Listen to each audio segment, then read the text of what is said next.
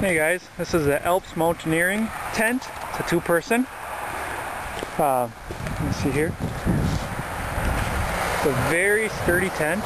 This is without the rainfly. We'll take a picture of that with it on in a little bit. Just want to do a review. I just got a ultralight ground tarp on this to protect the bottom. But it has uh, nice, nice doors on both sides. So two people in here, you can access, uh, you don't have to crawl over somebody to get out. It actually sets up really quick. I only, yeah, I got it this far in about three minutes, four minutes so far. I just got to throw the rain fly on it yet. But very roomy inside for a small tent. Got pretty, pretty good headroom. Nice little pocket up here.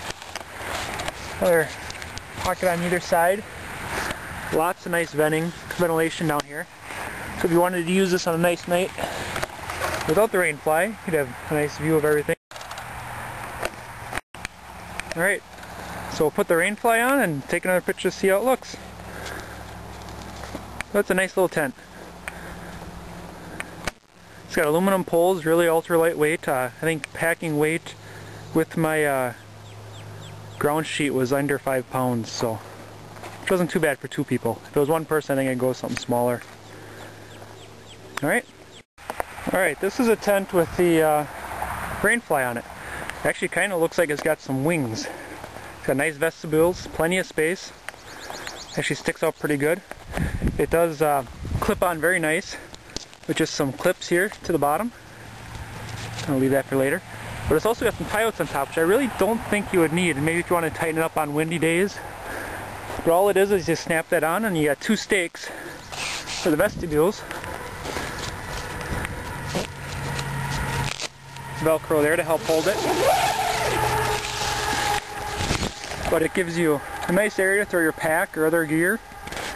And there's the doors on both sides, so it's got the zipper zipper on both sides here. A couple features I didn't even realize I had. Here again, it's got a tie out on the front, just like the back. But for this vent, it's got a uh, stiff little rod in here. It either folds up, or you can have it hold your vent out. Alright, so final Final look at the tent here. Like I said, it, it is a very fast tent to set up. It maybe took me a total of five minutes. I mean, those snaps.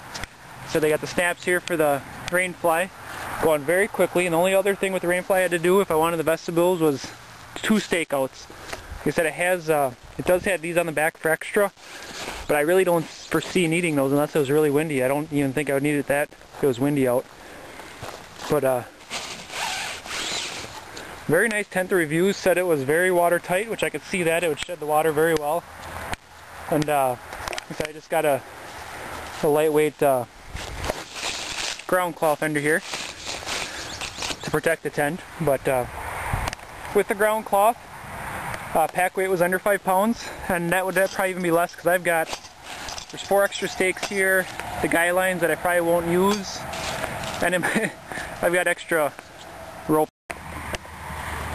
so that's it, the review of the Alps Mountaineering two-person tent.